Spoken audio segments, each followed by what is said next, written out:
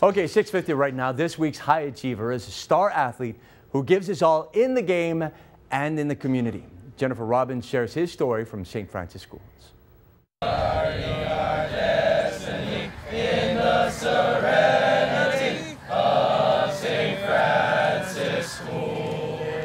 High school senior Blayne Won wears number 42 for the St. Francis football team. Let's go, boys. On the night, boys.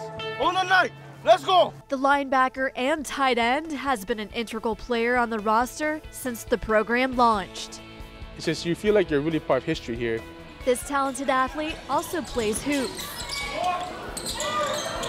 helping pave the road for the future of the game at St. Francis. Basketball, number 21, Blayne Won. Blayne and his teammates captured the first ILH Division II state championship title since the school's transition into a co-ed campus. Now we have St. Francis on the map. It's no longer just an all-girls school.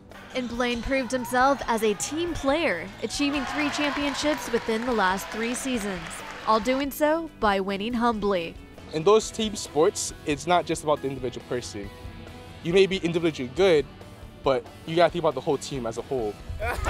And he may be aggressive on the court, but there's a softer side to Blayne when it comes to giving time to others.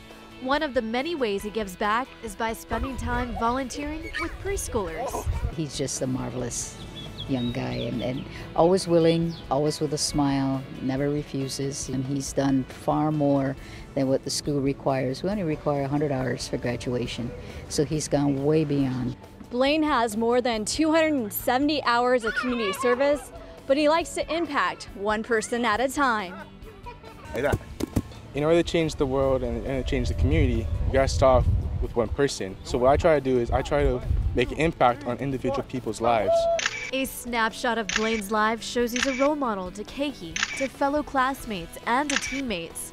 And he hopes to leave an everlasting imprint so those around him set out to make a difference too. This is the, the kind of graduate that for years we're going to be pointing to him, to the underclassmen when you grow up to become a senior. This is, this is your perfect model.